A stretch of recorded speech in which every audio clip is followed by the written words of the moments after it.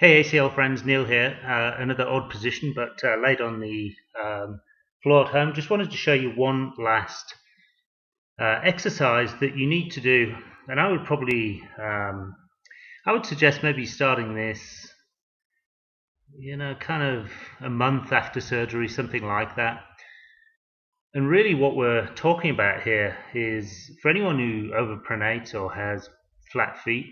Um, what you'll find is that you didn't realize the amount of muscles that work in that foot to keep that foot stable um, because of its slightly collapsed arch.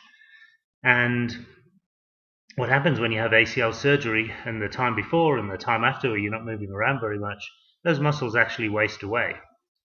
So, what that then means is that when you come to start doing squats and things like that and returning to your normal life, actually those muscles are no longer supporting the arch and you'll find that instead of squatting with your knee directly over your foot as you should do you'll find that um, your knee will collapse inwards and you'll have a very unstable position and that's all because um, those muscles in your feet have stopped working on a day-to-day basis and your flat feet uh, your overpronation is now going to be a problem for your knee so what you need to do is an exercise to strengthen those muscles, keep them working, and I'm going to show you that right here.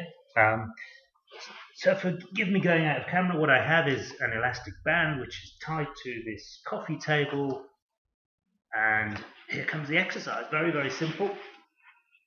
Basically, lay down, put your foot against the band, pull the band tight. Uh, so this is a tight band. What's really important here is you don't let this knee rotate out and that you just move that foot resistance against the elastic band. Again, this is another one of those exercises, if you can do it all day long, all the better. Uh, there's no real limit to what you should do. Keep this stable, push against and that will keep those muscles working um, in the foot. And bear in mind as well that because you've got um, hopefully two feet and you've been idle, you're going to have overpronating problems on both feet. You should work both as well.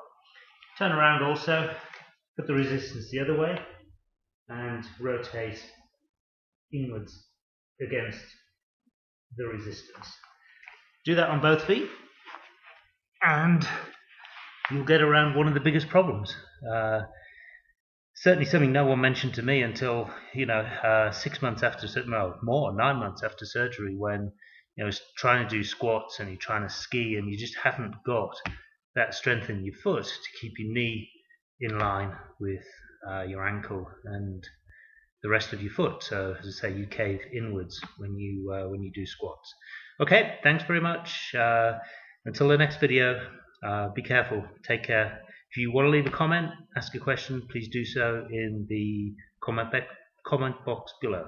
Thanks a lot. Bye bye.